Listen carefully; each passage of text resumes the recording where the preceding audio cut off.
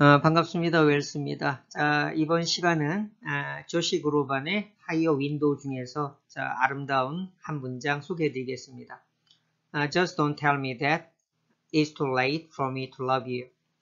아, 제가 당신을 사랑하기에 너무 늦었다고 저에게 말하지 마세요. 라는 자, 구절입니다. 아, 정말 근사한 목소리를 가진 가수죠. 자, 조시 그로반. 아, 일단 유튜브에서 확인해서 들어보시고요. 어, 제가 시간 되면 곧바로 해석해서 올려드리도록 하겠습니다.